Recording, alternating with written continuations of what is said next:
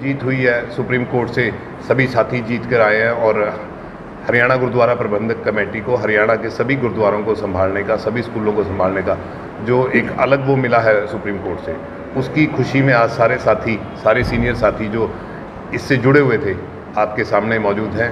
वो शुरू हुई, उसकी खुशी में आप सारे साथी आपको यहाँ आमंत्रित किया गया और सारे साथी आज इकट्ठे हुए विस्तार से मेरे भाई साहब सिंह जी मरदान खेड़ा आपको इसके बारे में।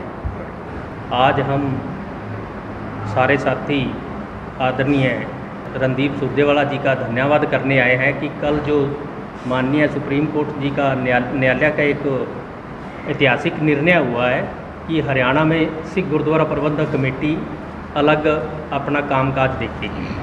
इसकी लड़ाई साथियों सन 2000 99 2000 से शुरू हुई थी, जिसमें हरियाणा सिख गुरुद्वारा प्रबंधक कमेटी के साथियों ने ये डिमांड की थी कि हमारी कमेटी अलग बनाई जाए। तो जब 2003 में चुनाव हुआ तो उन्होंने पाँच एस का श्रोमणी गुरुद्वारा प्रबंधक कमेटी का तो हरियाणा कमेटी अपने अलग मैनिफेस्टो अपने लिखा कि हमारी डिमांड ये है कि हम उस मुद्दे पे चुनाव लड़ा कि अलग कमेटी का हम निर्माण चाहते हैं। तो उसमें 11 सीटों में से आठ सात सीटें जीत कर आए। हरियाणा गुरु सिख गुरुद्वारा प्रबंधक कमेटी। तो 2003 में जो चुनाव हुआ, उसमें 70 परसेंट लोगों का फतवा हरियाणा की अलग कमेटी बनाने के पक्ष में आया। तो 2004 में जब चार पाँच में चुनाव था तो हरियाणा सिख गुरुद्वारा प्रबंधक कमेटी ने कांग्रेस पार्टी के सीनियर नेता, उस टाइम अध्यक्ष हमारे चौधरी भजनलाल जी थे और कार्यकारी अध्यक्ष चौधरी रणदीप सिंह सुरजेवाला जी थे। तो उनसे जब इन्होंने ये रखा कि आप, हम कांग्रेस पार्टी का समर्थन करते हैं, हरियाणा से गुरुद्वारा प्रबंधक कमेटी, और आप मैनिफेस्टो में रखो कि अगर कांग्रेस पार्टी की सरकार आएगी तो आप अलग गुरुद्वारा प्रबंधक कमेटी बनाओगे। तो तभी हरियाणा से गुरुद्वारा प्रबंधक कमेटी ने सभी सम्मानित सदस्यों ने दिल्ली में एक प्रेस वार्ता करके ऑल इंडिया यूथ कांग्रेस के ऑफ़िस में और रणदीप सुरजेवाला जी कार्यकारी अध्यक्ष थे, चौधरी भजनलाल जी अध्यक्ष थे।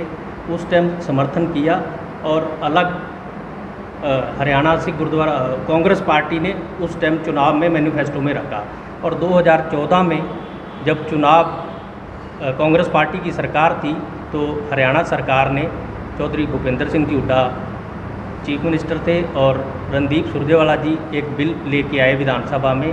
और उस बिल पे ये डिमांड रखी कि हरियाणा से गुरुद्वारा प्रबंधक कमेटी की अलग मैनेजमेंट कमेटी होनी चाहिए और उसका एक्ट बनाया और 2014 से लेके उस टाइम एसजीपीसी ने एक पटिशन डाली सुप्रीम कोर्ट में, माननीय न्यायालय, उच्च न्यायालय में। तो उसका कल ऐतिहासिक फैसला आया है।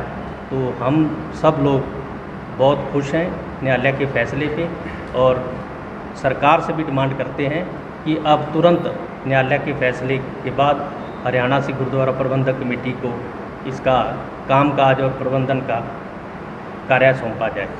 कोर्ट का दरवाज़ा जी, जो एसजीपीसी ने इसमें अपने हरभजन सिंह मसाना ने एक पटिशन डाली हुई थी इसके अंगेज कि ये कमेटी अलग नहीं होनी चाहिए।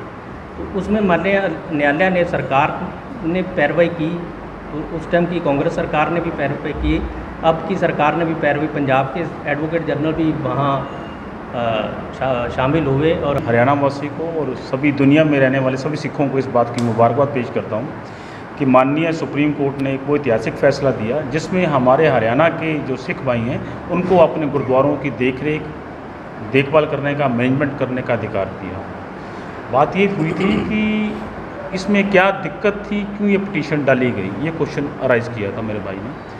तो उसमें बेसिकली बात है, अगर यहाँ की लोकल संस्था यहाँ पे लोकल गुरुद्वारे संभाल सकती हैं तो ओवरऑल हरियाणा सिख गुरुद्वारा प्रबंधक कमेटी मैनेजमेंट कमेटी यहाँ का प्रबंधक क्यों नहीं संभाल सकती? आज की डेट में आप एसजीपीसी का देखिए या हरियाणा गुरुद्वारा कमेटी का देखिए, जो बजट इस वक्त एस लेके चलती है वो एक राज्य के बजट से ज़्यादा बजट है। हमारे यहाँ पे कितने इंस्टीट्यूशन चला रही है, आप ये देखिए, एक मीरी पीरी खोला था, वो मीरी पीरी आज से 20 साल से बीच में लटका हुआ है। अगर इनकी मंशा होती तो आज ये मेडिकल कॉलेज यहाँ पे चला होता और हरियाणा का सबसे बढ़िया मेडिकल कॉलेज होता। अगर इसका मैनेजमेंट यहाँ के गुरुद्वारा मैनेजमेंट हरियाणा कमेटी के पास होता तो आज हमारे बच्चे, हरियाणा के बच्चे इस कॉलेज में स्पेशल कोटा के अंदर इसके अंदर दाखिल होते और हमारे इंजीनियर डॉक्टर्स यहाँ से बन के अच्छे उहदों पर जाते। सबसे बड़ी बात ये थी। एक यहाँ पर हमारे मैनेजमेंट कमेटी के जितने गुरुद्वारे हैं टोटल हमारे गुरुद्वारे बावन हैं यहाँ पर चार गुरुद्वारे इस वक्त हरियाणा गुरुद्वारा मैनेजमेंट कमेटी देख रेख कर रही है। बाकी सब इंडरेक्ट और डायरेक्ट वे में एसजीपीसी के पास हैं। एसजीपीसी वाले कहते हैं कि हरियाणा कमेटी बनना गलत है। अगर यहाँ के लोकल सिख वर्ल्ड क्या है कि अमृतधारी सिख इस मैनेजमेंट में रहेंगे, वो काम करेंगे। अगर अमृतधारी सिख हरियाणा का अपने गुरुद्वारों की देखरेख करता है तो इसमें एसजीपीसी को कोई एतराज़ या आपत्ति नहीं होनी चाहिए। अगर यहाँ के लोकल संस्थाएँ काम करेंगी तो ज़्यादा बेटर मैनेजमेंट कर सकती है, बजाय इसकी अमृतसर। सुप्रीम या अकाल तक वो हमारा भी है, सभी का ही है। उसके बाद में कोई दोहराई नहीं है। पर मैनेजमेंट अगर हरियाणा के सिखों को मिली है तो बल्कि एस को बड़ी खुशी खुशी सभी गुरुद्वारों का जो देख रेख है, ये सौंप देनी चाहिए और माननीय उच्च न्यायालय की एक इज़्ज़त रखनी चाहिए कि एक फैसला आया इस बात के लिए। और इसमें दो पटिशन थी। एक पटिशन थी हरभजन मसाना के नाम से, जो एस मेंबर हैं कुरुक्षेत्रा के, और उसमें पार्टी बनी थी एस खुद।